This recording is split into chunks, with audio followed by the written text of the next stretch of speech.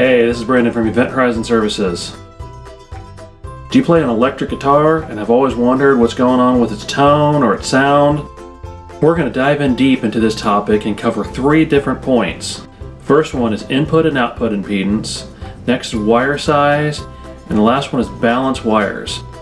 Now, this is a three-part video because there's a lot of topic to cover, so stick with us and I think you'll learn something.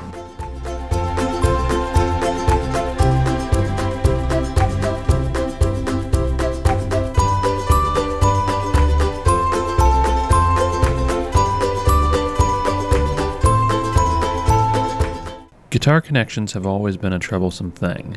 They can have loss, tone issues, noise, etc. You can almost say guitar rigs are traditionally where logic breaks down and voodoo takes over. Okay, not quite, but let me continue. There are many beliefs I've heard over the years, like maximum cable length of 20 feet, use super heavy duty cable, don't use balance cable, etc. But in the end, few people bring fact to these theories. To add to the mystery, there are a great many guitar and amp manufacturers that do not provide real specs, and instead sell on reputation. As this video will show, even just basic specs are very important. Without specs, you'll have to guess what might be the result, and without specs, you can't explain why one setup sounds better than another. If you've ever used a microphone, you might know that you can run the signal a very long way with very little loss and noise. Microphones are low impedance, most standard guitars and related equipment are high impedance, so we're going to take a look at the impedance issue and see what role it plays. So now it's time to dive in and learn something. In today's video, we're going to look at high impedance and low impedance and the effects that cables have with them. I have done simulated tests and real world tests to demonstrate the effects and the results are interesting. Before I get started, we first need to get some definitions out of the way. Okay, first, what is impedance? This is a complicated topic and worthy of its own video, but I am going to keep this simple for now. I started to give the textbook definition here, but I don't think it helps, so I'm going to put it in layman's terms. But before I do that, I really first need to define resistance. In electrical terms, it's the difficulty of electrons to flow through an object or a circuit. Anything that is not a perfect conductor has resistance. Without resistance, everything would be a short circuit and electricity wouldn't work as we know it. So impedance is basically frequency dependent resistance, or resistance in an alternating current circuit like audio. So impedance is the difficulty of electrons to flow through a conductor with an AC or alternating current. Impedance can vary with the frequency of the signal, Resistance is measured with DC or a zero frequency, while impedance is measured at a frequency and can vary with the frequency of the signal. The ohm is the unit of measure for resistance and impedance. Every input and output circuit has impedance. A typical mic might have an impedance of 150 to 300 ohms. Many audio outs have an impedance of 50 to 200 ohms. Many audio inputs have impedance of 10,000 ohms to 20,000 ohms. All these I mentioned would be considered low Z connections. A guitar might have an impedance of 50,000 ohms, and a guitar amp an input of 1 million ohms. Also through this video is the abbreviation K. K is for kilo or 1000. So if something is said to be 1K ohms, that would be 1000 ohms, and 50k ohms would be 50,000 ohms. Same with frequency. 2.5k hertz would be a frequency of 2500 hertz. We also use mega, which means million, so 1 mega ohm would be 1 million ohms. One last definition to get out of the way is capacitance. Capacitance is the ability of a device to store an electric charge. This is most often seen with electronic parts called capacitors that store electricity that can be released when needed.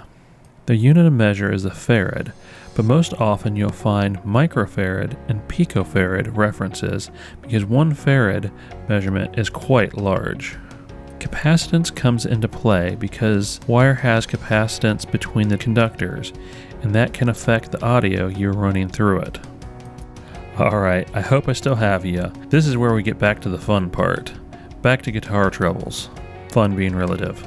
So the first question is, where is the problem coming from? So I decided to make a simulation of a circuit in an electronic program. I'll keep the explanation really simple. On the left side is a simple audio source, like a guitar or mixer out. I can change the output impedance with the output resistor R1, which is currently showing 100 ohms. In the middle, I have a simple representation of a cable. R2 represents the resistance down the length of the cable, and C1 the capacitance of the cable. On the right, a simple input circuit that I can change the input impedance on with R5. With this circuit, I can simulate different pieces of gear and different cables. When I do tests, I like to push things to the limit so that all the effects are exaggerated. So I have first entered the numbers for 50 feet of Mogami 2524, our high-end instrument cable. We sell a lot of this guitar cable. At 50 feet, it has a resistance on the center conductor of 0.5 ohms and a capacitance of 1985 picofarad. For a baseline, I'm going to do a 100 ohm output impedance and 10k ohm input impedance. This is a typical low Z circuit. The red line near the 1 volt mark is the plot of the response. Across the width of the chart is from 1 Hz to 200 kHz, and vertically it is showing us the voltage response, not decibels. What this shows is that it gives us an almost flat response up to 200 kHz. This is what we would hope for in a cable. You want a flat response to not have your cable affect your audio. Test 2, we are going to increase the input impedance, R5, to 1 megaohm, which is comparable to many guitar amp inputs. Now looking at the results, we see no real problems. This is the green line on the chart. The red line is a control test from before. They're about the same results. The result is a bit higher because it puts less load on the output source. Okay, now let's increase output impedance on R1 to 50 kilo ohms impedance, as you might find in a guitar. Wow, this one is the blue line. The red and the green are still on for reference. It has a bit lower signal because of the higher impedance, but it starts dropping off about 80 Hz with major roll off at about 1 kHz. At this point, you'd certainly be hearing loss of the highs if this was real.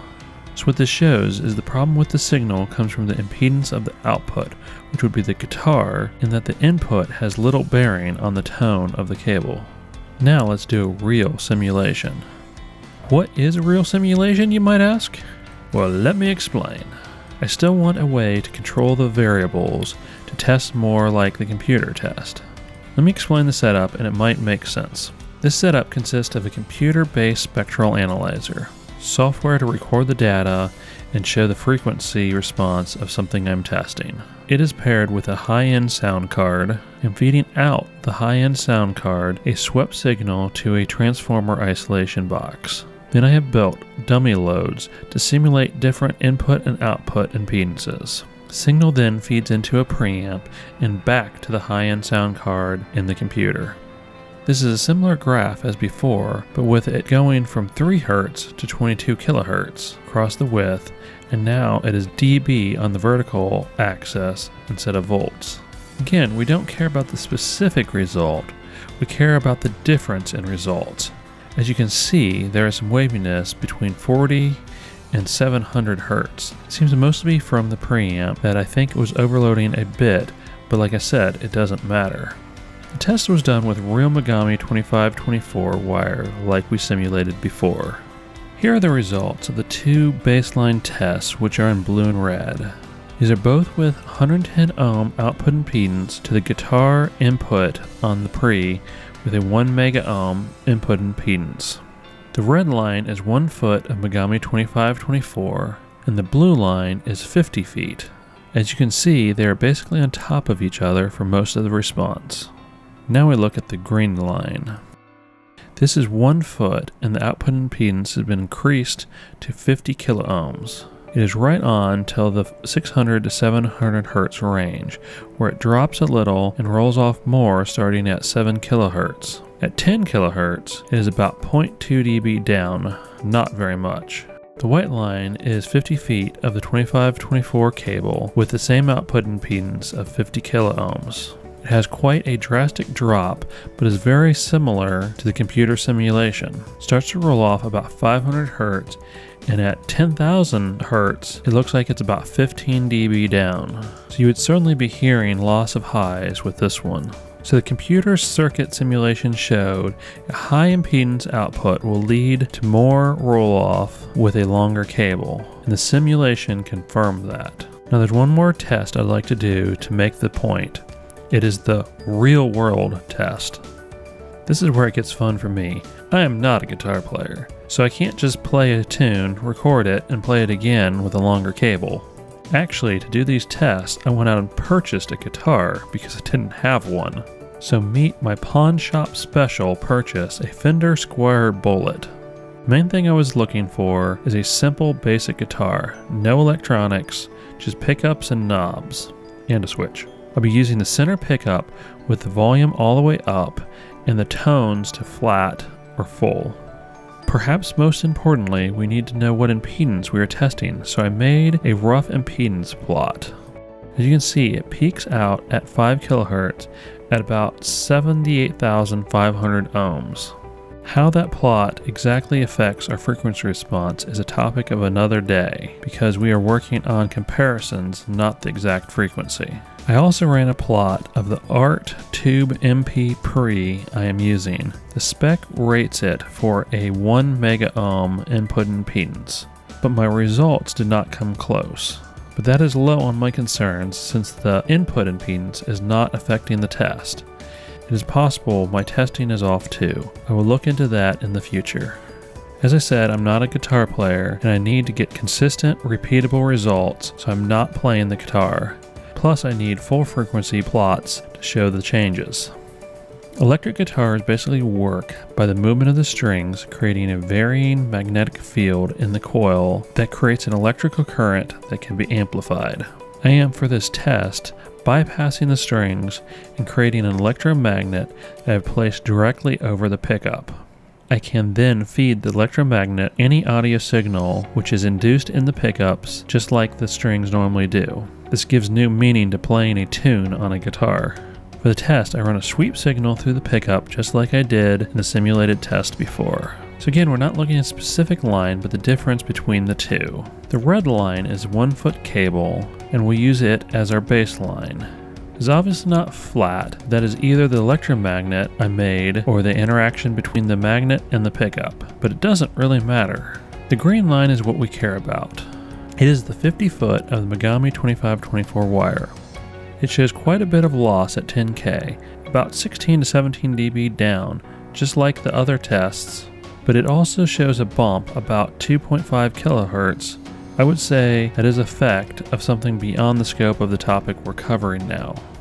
For those of you that say, that proves nothing, that's a weird way to do a test, well here you go. Here's a signal strumming the guitar as consistently as I can. The blue line is a 50 foot cable and the white line is a 1 foot cable is right on to the previous results. Yes, there are level differences, but we are comparing the frequency differences, not the actual levels, so it looks right on to me. Let me zoom in so you can see that better. Here to zoom from 1K to 22K in a lesser dB range. The green line would be considered equal to the blue line and are both the 50 foot cables, and the red line would be considered equal to the white line in both 1 foot cables. You can see the bump at about 2.5 kHz on the blue line, same as the green line. You can also see the bump on the white line and the red line matches up too. Alright, one more case to make the point. As I said, I'm not a guitar player, but here are two 10 second audio clips of me just strumming the guitar. FYI, I haven't tuned it in a while, and I'm not expecting to get any record deals. I will play the clips, and you can listen, and I'll tell you which one was which at the end if you can't figure it out.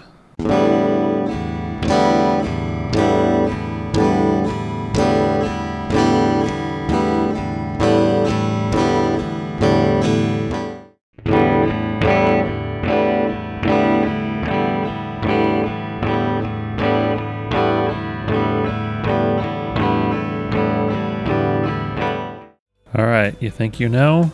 Clip 1 was the 1 foot cable, and clip 2 was the 50 foot cable. You certainly can hear the tonal differences. The conclusion of this test shows us two things. You are better off with a lower impedance output, and that if you have a higher impedance output, the longer you run the cable, the more high end you will lose with little or no change in the low end. Addendum to this section. After completing this section, it caught my attention that I did not give much comparison for input impedance other than low and high. So a quick addendum to this topic is this graph. All these are with 50 kilo ohm output impedance and 50 feet of 2319 wire simulated. Why 2319 wire and not 2524? Honestly, I have no idea. It was just what I did when I made the graph.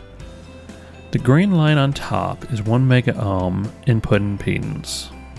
The blue line in the middle is 100 kilo ohm input impedance. The brown line on the bottom is 50 kilo ohms input impedance. The starting roll off is slightly better with lower impedance, but by 10 kilohertz they are all about the same. With a lower impedance, it also loads the output more and you'll have a lower signal to start off with. This wraps up part 1. In part 2, we'll look at wire size.